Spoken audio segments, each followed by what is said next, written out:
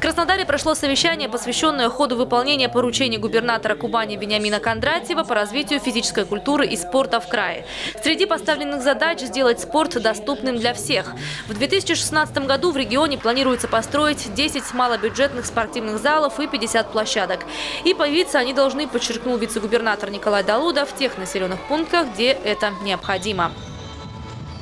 Надо внимательно посмотреть, чтобы не получилось, что рядом, рядом с Ледовым дворцом, многофункциональным комплексом или плавательным бассейном будет стоять опять вот этот малобюджетный спортивный зал.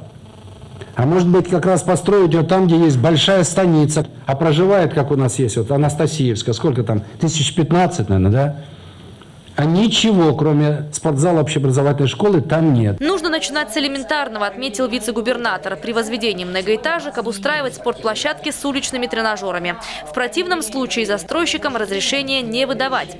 В завершении Николай Далуда поручил в каждом звене от строительства спортобъектов, организации их работы до кадрового обеспечения и воспитания будущих спортсменов добиваться лучших результатов.